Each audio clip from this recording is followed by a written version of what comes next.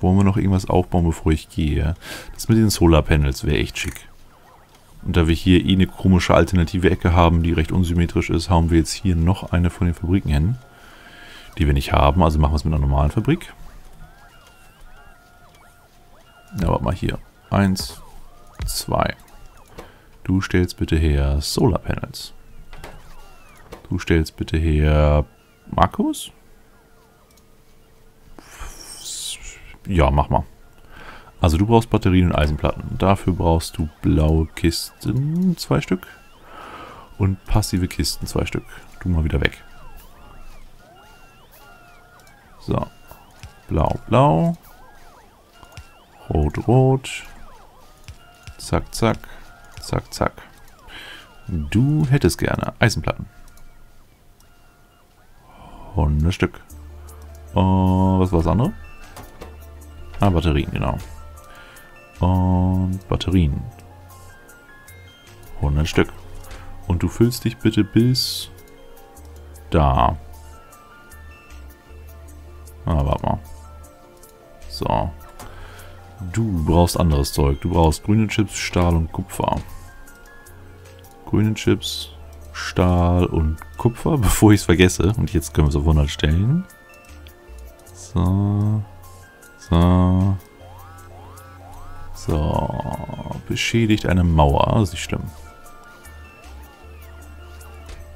Genau, das kriegst du alles geliefert. Stellst das hin, schmeißt es da rein. Alles ist gut. Achso, und dich beschränken wir auch mal auf drei Stacks. Ich weiß nicht, wie hoch Akkus und Solarpanels decken, aber es müsste okay sein. Ja, das lassen wir jetzt arbeiten. Und dann suchen wir uns jetzt schöne neue Opfer. Dafür brauchen wir allerdings wieder Munition. Ja.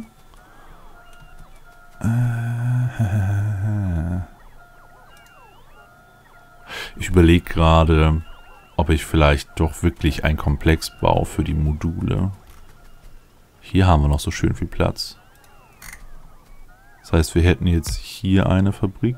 Das wird jetzt sehr komisch aussehen, aber ist halt so. Ja, das müsste so hinhauen. Gucken wir mal. Du brauchst bitte Speed-Module. Brauchst dafür grüne Chips, rote Chips. Okay, du brauchst bitte Tech 2 Speed-Module. Da brauchst du rote Chips und blaue Chips. ist okay. Du brauchst bitte Tech 3 Speed-Module.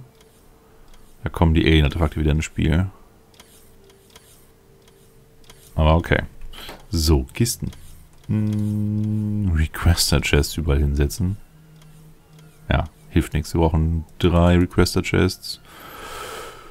Und eine Stahlkiste am Ende, wo das Ding rauskommt, was wir gerne hätten. Du nach da, du nach da, du nach da. Dann Befüllung, Befüllung, Befüllung. Da kommen die Requester Chests hin. Du, Muni aufhören. So. Also dich stellen wir ein mit grünen Chips, roten Chips, jeweils 100. Und auf ein Stack beschränken, bitte. Ah ne, warte mal, das ist hier die Requester Chest, egal. Äh, das darüber, das darüber. Du, nächste Kiste. Du bekommst jetzt die Tech 1 Module. Brauchst du noch rote und blaue. Blau und rot. Da reichen 50. Ich will nicht zu viele auf einmal binden.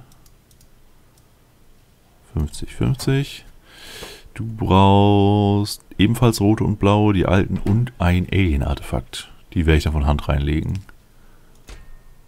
So, also wie viele brauchen wir davon? Fünf, ne? Eins, zwei, drei, vier, fünf. Eins ist jetzt schon drin. Hm, dann rot und blau. 50. Irgendwo wieder geschossen. 50 genau das gleiche müssten wir... Ah, das ist jetzt doof, aber egal. Naja, es geht nicht auf. nee.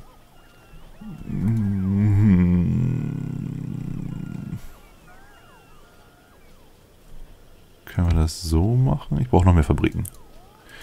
Weil ich glaube, ich könnte genau das gleiche für die grünen Module auch bauen. Die werden dieselben Ressourcen brauchen, oder? Ja, genau das gleiche. Heißt, wir könnten das so mopsen. Dann rüber transferieren. Oh, wir nehmen einfach einen langen Arm.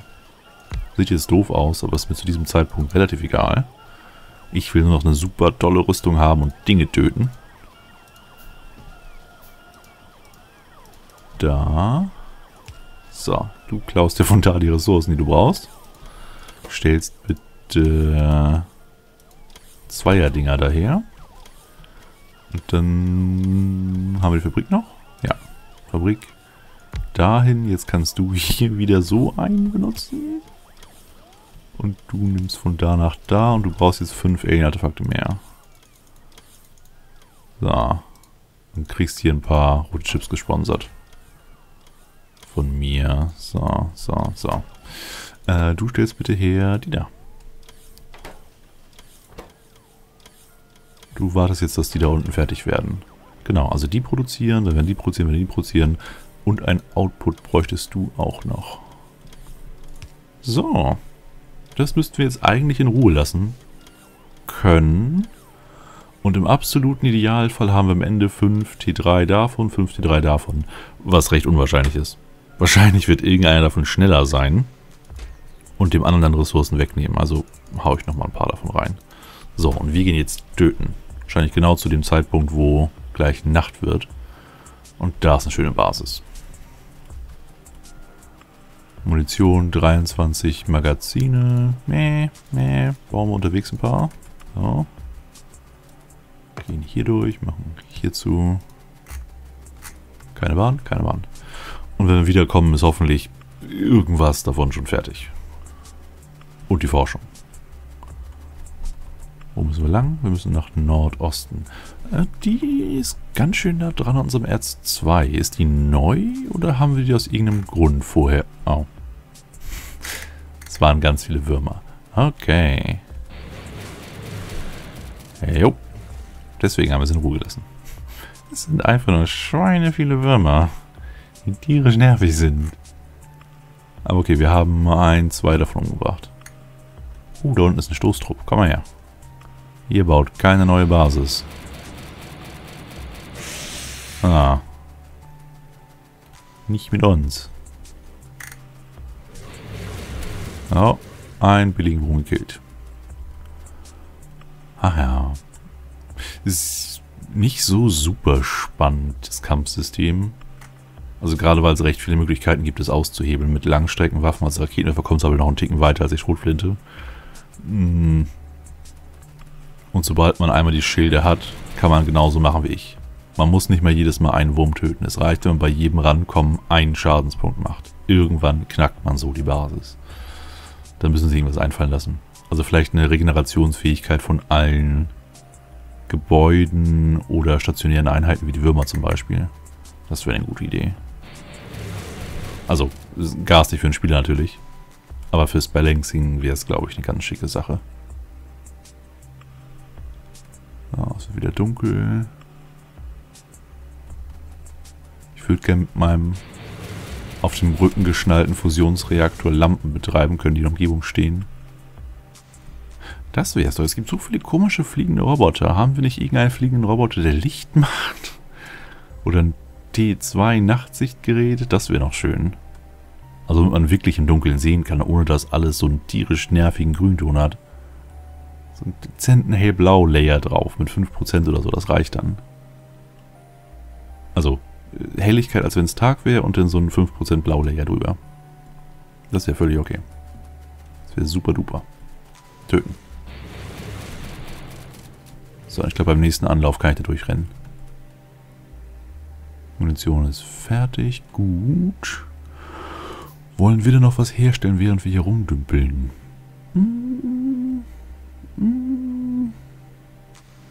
Solarpanels? Nö. Machen Maschinen für uns. Akkus? Nö, machen Maschinen für uns. haben wir genug Repair Packs? Ja. Bauen wir Mauern.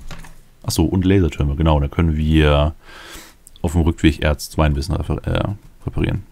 Ich wollte schon raffinieren sagen. Komm schon. Ja, sehr gut. Ihr kommt mit. Und dann räumen wir hier weiter auf. Da stehen nämlich komischerweise mitten in der Pampa Beiter rum. Oh, eine schön kleine Basis. Kommt mal her.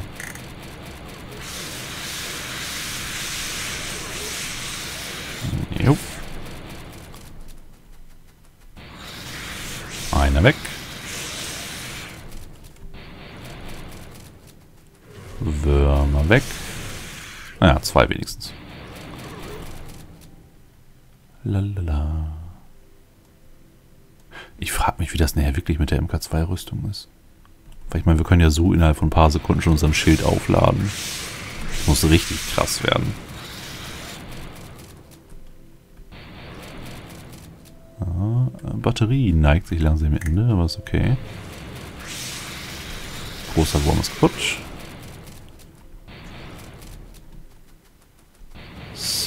Spawner ist kaputt. Und gewonnen. Und ich glaube, damit könnten wir jetzt schon genug Alien-Artefakte haben für die T3-Module und die Rüstung selber. So, alles kaputt. Mitnehmen, mitnehmen. Mitnehmen. Da ist eine garstige Basis. Aber ich gucke sie mir mal kurz an. Weil wie gesagt, wir können theoretisch alles knacken, weil wir sind... Nee sind nicht viele Würmer. Vielleicht brauchen wir Muni. Ja. Ähm, also es sind nicht viele Würmer, aber es sind viele Spawner. Ich drehe mal einen Kreis.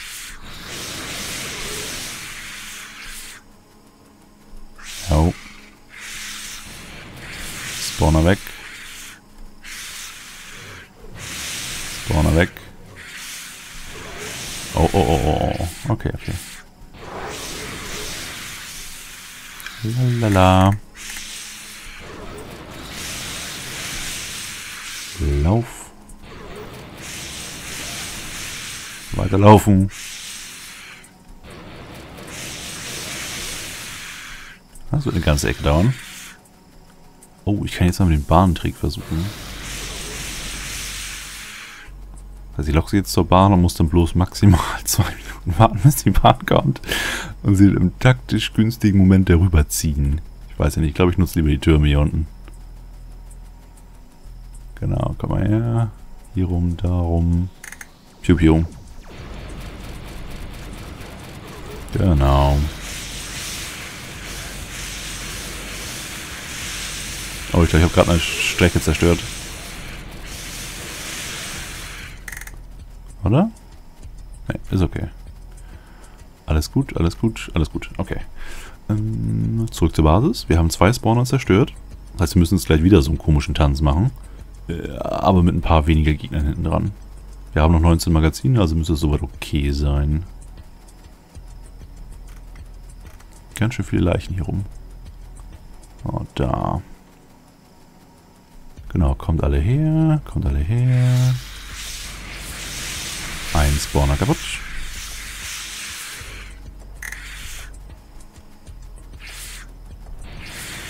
Zwei Spawner kaputt. Vier Spawner kaputt und jetzt laufen. Und irgendwie... Oh. Irgendwie wird die Power Armor MK2 nicht fertig. Hm. Lila Tränke stellen wir her und schmeißen wir rein. Ne?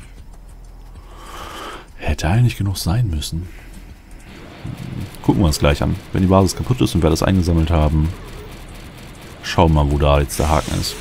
Und wie weit die T2, die T3-Module geworden sind. Wobei ich mir nicht so viel Hoffnung mache. Es hat ja schon Stunden gedauert im Spielerinventar. Und ich glaube, die blauen Fabriken sind nicht so viel schneller als das Spielerinventar. Die gelben ja, aber die blauen... Ah. Oh, Ruckler ist nicht gut. Nicht gut für meine Nerven. Aber es war wohl ein Autosave. So, hoch, Würmer töten. Letzte, nein. Ja, ja, ja, ja. Da ist unser Lebenspunktbalken. Hallo, Lebenspunktbalken.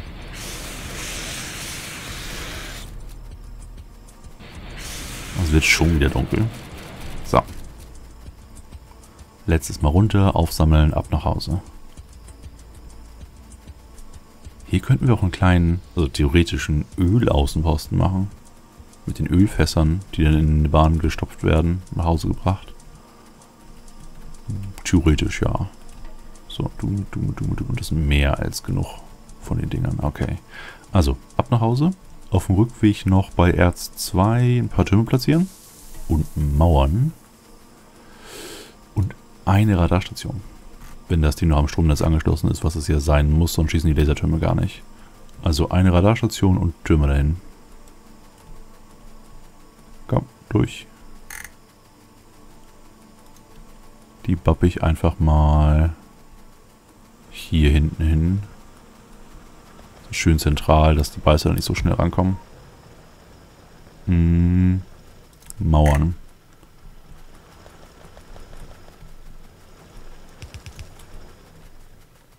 So, irgendwo war hier noch eine Lücke gewesen. Naja, nicht wirklich. Da kommen die Beißer nicht von hinten rum ran, oder? Dann mache ich trotzdem mal zu. Da, da, da, da, da. Da, da. Jetzt müsste das hinhauen. Und den Rest verballern wir hier.